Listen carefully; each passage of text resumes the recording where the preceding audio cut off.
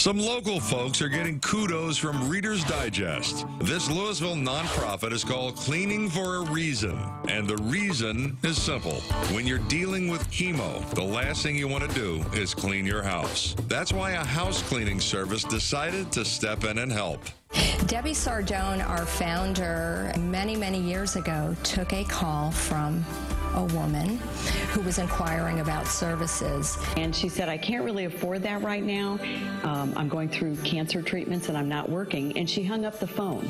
And I made the decision that day that the next time a woman called my office needing help, needing service, if she said she had cancer, we would just give her the cleaning for free.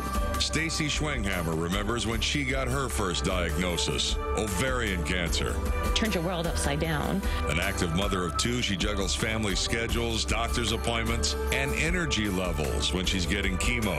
The energy that just goes into making sure that their world is unaffected. It reduces the stress that the family is facing. Clean for a Reason has truly changed my life.